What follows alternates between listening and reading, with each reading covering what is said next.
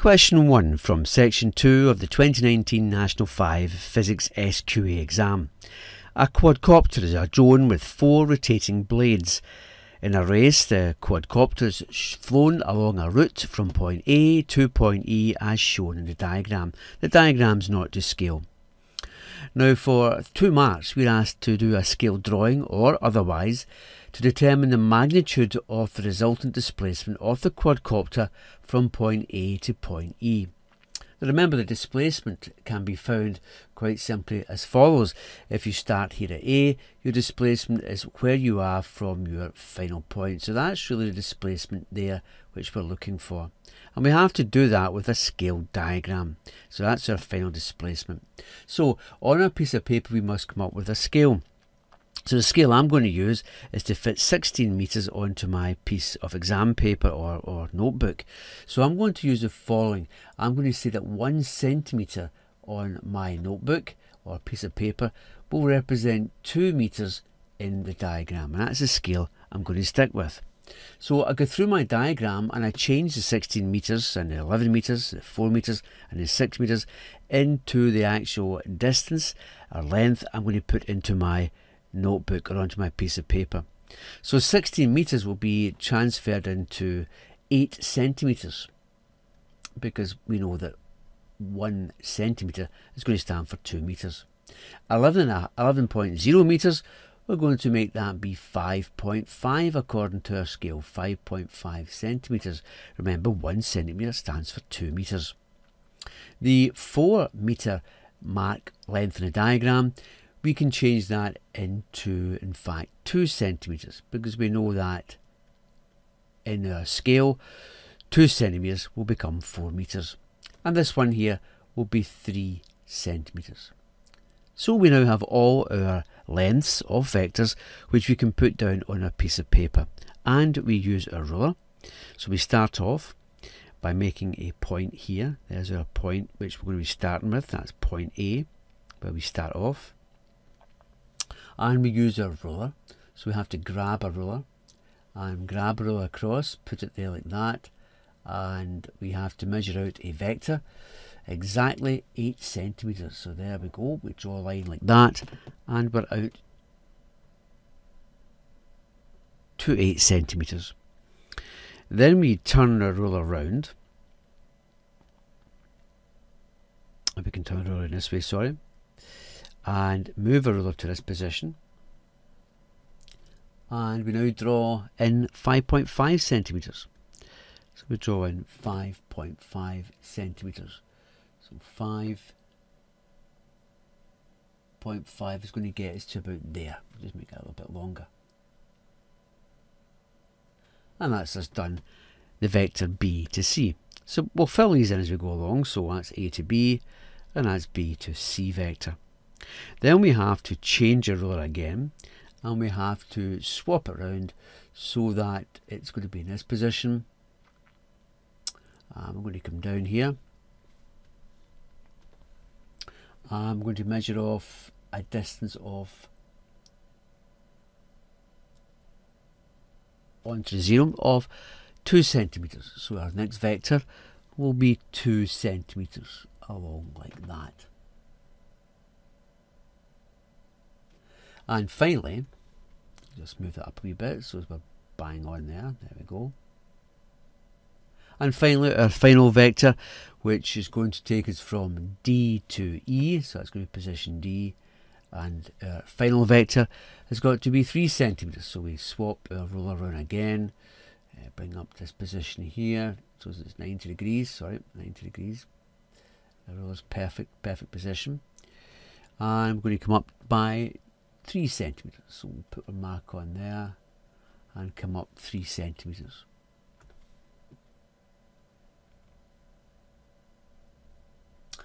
And there's our diagram. And that's it, complete. We can move it over there. And we can then label that as follows, A, B, C, D, and there's our final part of the journey, which is E there. So our resultant displacement is from the start all the way down to the finish, which is that point there. And it's usually denoted by a line, a vector, with two arrows like that to show you the resultant displacement. And we can take our ruler now and we can measure what that's going to be. So if I can just spin the ruler around again to that position. Now I'll be a bit out because of the ruler shape on the screen, but to the best of my ability I can see that the resultant is going to be about 6.5 centimetres. So the resultant here is going to be 6.5 centimetres on the scale drawing and therefore that means that the length of the vector has got to be 13 metres in real life. So the displacement really is 13 metres. So we now can put down the magnitude of the vector and the magnitude here, uh, the resultant vector, has got to be 13 metres. Now the second part of the question is going to ask us the following. It's going to say by scale drawing or otherwise, determine the direction of the resultant displacement of the quadcopter from point A to point E. So that must mean we must take a north line as shown and we must find that angle from the north line to here to give us the direction. Remember a vector has got magnitude, which we just found out, but to fully describe it, it needs to have a direction, and that's going to be the angle measured from north. So all we have to do on our scale diagram is draw in a north line, so I'll just put a north line in like that as best I can, and then take my protractor and place the protractor with the centre of it at the starting point like that there. So if I redraw the angle, this is going to be 0 degrees, 90 degrees. I come round here and I can see that I've just got between, it looks like 114 degrees. So that angle in there looks like it's going to be 114 degrees when it's measured, 114 degrees. So to fully describe that, then we have to say that the magnitude is 13 metres and it's at an angle of 114 degrees from north. And that's as fully described the vector which has been answered in part 1 and part I and 2. Question 1 part B. The quadcopter takes 32.5 seconds to complete the race. Determine the average velocity of the quadcopter over the whole race. Now you go to your data sheets and you can see your data sheet there. And you look down to see the average velocity and the displacement equation and there it is there circled. And that's the equation we're going to use. So the equation we're going to write down is that s the displacement which we're talking about is equal to the average velocity multiplied by the time. So therefore we're looking for the average velocity. So average velocity is going to equal to displacement divided by the time. Be very careful here, it's the displacement which stands for S. So we know from our previous question that we worked out the displacement to be 13 metres on a bearing of 114. And we're told also now that the time which it took to undergo this displacement is going to be 32.5 seconds. So everything's all set up for us. So therefore, the average velocity is going to be displacement, which is 13 meters, divided by the time of 32.5 seconds. And we do that in a calculator, we get 0.4 meters per second. So that's its average velocity. But remember, to completely describe a vector, you must include its direction as well from north. So our true answer to that is the average velocity is going to equal to 0.4 meters per second at a bearing of 114 and that's to keep us completely describing the vector a bearing of 114 4. We don't have to bother about the degrees since we already know what a bearing means. Question 1 Part C. A second quadcopter completes the race at an average speed of 1.25 metres per second. The distance travelled by this quadcopter during the race is 37 metres. Determine the difference in the times taken by the quadcopters to compete or to complete the race.